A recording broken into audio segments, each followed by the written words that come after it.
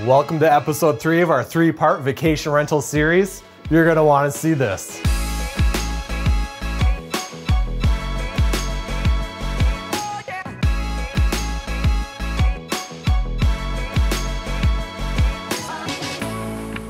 This is the third feature home of our vacation rental series.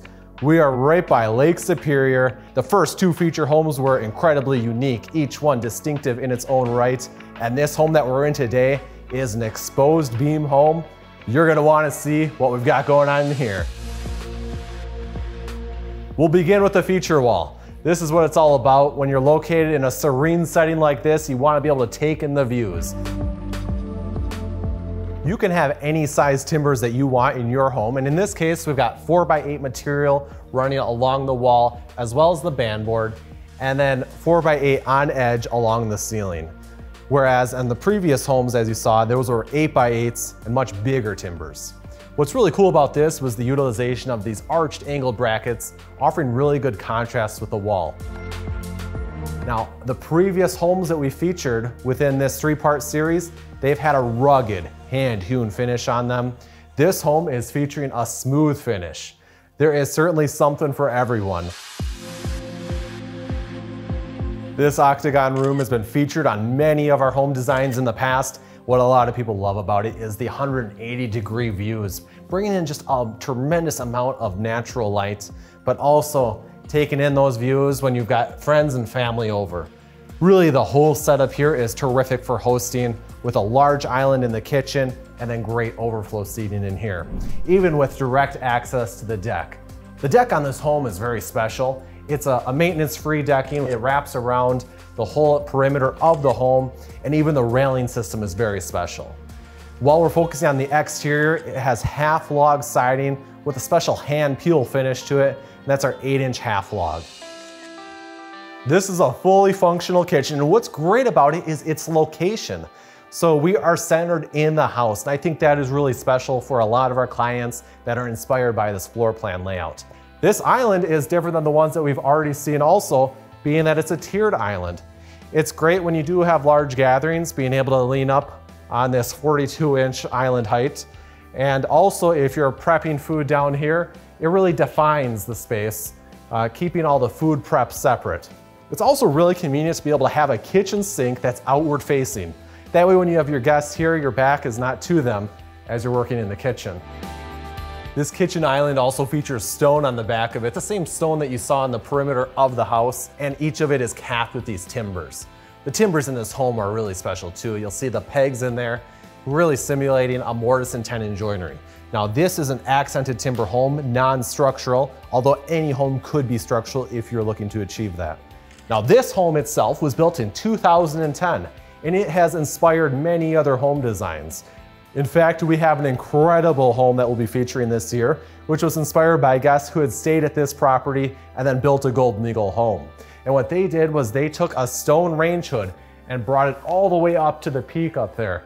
And it looks incredible. Let me take you on the rest of the tour and show you a lot of the great ideas. You're gonna love this one. We'll next head into the primary suite where we've got a two panel arch top with wood planking on this knotty pine door. These look great, very fitting for this home. And then within this area, we've got a wainscoting being brought up with a, a hand peeled chair rail and the drywall above. Remember that this is a vacation rental. The homeowners and hosts, they wanted to make sure that there was wood on the lower level of this wainscoting. That way, whenever luggage was brought in, it didn't beat up the drywall. And this has really stood the test of time. Everything looks like it was just built. This is great. It fits a full king size bed in here. We've got great patio doors, a lot of natural light. And it wouldn't be a primary suite without a great view. And we also have access to this deck. And that is a deep deck area, great for your outdoor seating. Also, it's so great to have the airflow flowing through when you have the patio door open. If you followed Golden Eagle for many years, you have seen this bathroom before. I think it's so great to use those same timber arches that you saw in the great room area as an accent over the tub. And how great is it to have a tub and bring in the views? It's just really great to get ready in the morning and to be able to see the beautiful snow falling outside. Of course, you gotta have a double vanity sink with a bathroom of this size. and this cabinetry. This is special. This is a beautiful rustic hickory. Just such beauty in the wood grain itself as well as the knots. Really tying in well with the knotty pine doors that we see there.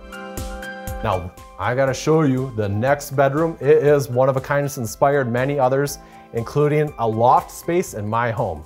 Let's check that out. And how cool is this? There is a ladder going up to a loft above the closet.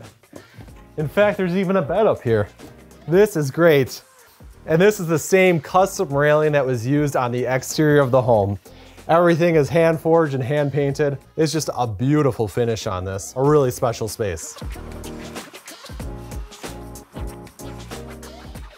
We've got access to the garage right there with a full bath, a great size laundry room, and let's head down to the lower level. There's a lot more to see down there.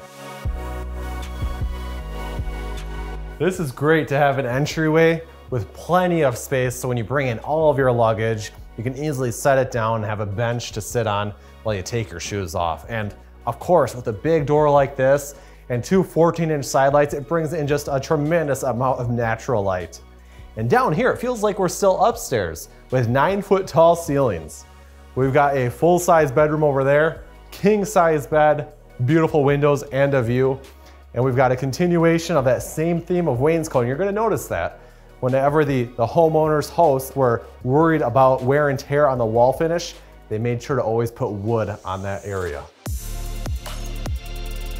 You gotta check this out. Down here, we have a post that could only be described as gnarly. This thing's incredible. This actually came from the homeowner's property. Very unique, very rare, and just the perfect opportunity to incorporate this in this space. You may have noticed that in many of our homes, we utilize unique materials. This is what we would call an exposed roof bottom, oftentimes a flare bottom post. But this one in particular is very special, being how the tree split. This also came from the homeowner's property. Can you just imagine hosting down here? Take a look at this peninsula and all the seating that's available. This is great. And we talked about that special octagon room upstairs for dining. Here we've got it down here also. Usually when you think of a finished lower level, you think of lack of light, lack of natural light. We've got so many windows down here. This just feels great. And also, essentially another full-size kitchen in this space. I don't think you're gonna have any troubles getting around in there. Plenty of floor space, a great work triangle for any cook in the kitchen. This is a flexible family room with plenty of space for everyone to gather around. It's nice being able to minimize the amount of posts that are needed in here to really keep this feeling like it's an open concept. Above me, we have round logs following the ceiling, even round posts over there as well. Whereas upstairs, there were flat timbers. What do you prefer? Do you prefer using round logs in your home or the flat timbers? Now, what's also great about this space is the easy access to the lakeside. It's so convenient whether you're having a campfire out there or heading to the beach. We have another guest bedroom over here. So now we're transitioning from more of a tan paint color to a nice green. And the homeowner said, once again, they were very intentional to use drywall on these outer perimeter walls because this wouldn't get beaten up by luggage from guests. Whereas the wood on these walls, that has stood the test of time. This is just a beautiful room in here, a lot of really nice light. Now right over here, you gotta see this.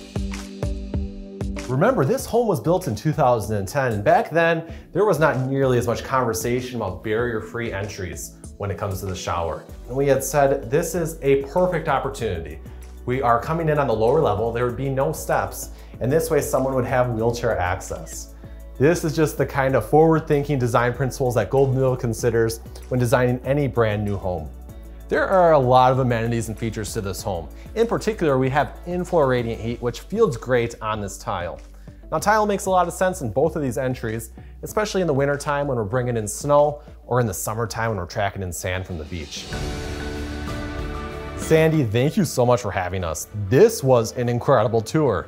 Another awesome vacation rental. Now you've had many guests that have stayed here. What are some of the more popular comments that you've heard from them?